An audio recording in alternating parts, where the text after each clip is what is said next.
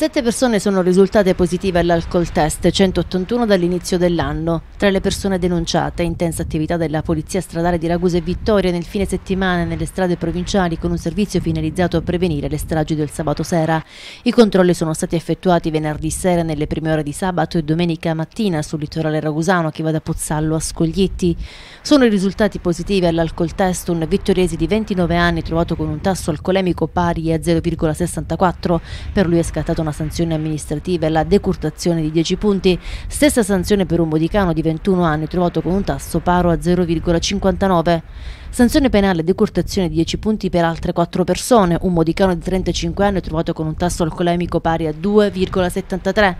un ragusano di 33 anni trovato con un tasso cloremico pari ad 1,12, un modicano di 32 anni con un tasso pari a 0,96 ed un rumeno di 25 anni che coinvolto in un incidente stradale autonomo e sottoposto all'alcol test è stato trovato con un tasso alcolemico pari a 2,05. Infine un tunisino di 33 anni coinvolto in un incidente stradale autonomo e sottoposto all'alcol test è stato trovato con un tasso alcolemico pari ad 1,16. Anche per lui è scattata la sanzione penale e la decurtazione di 10 punti della patente di